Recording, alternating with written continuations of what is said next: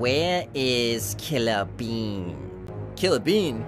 We put his ass in the slammer. Wait. Who are you?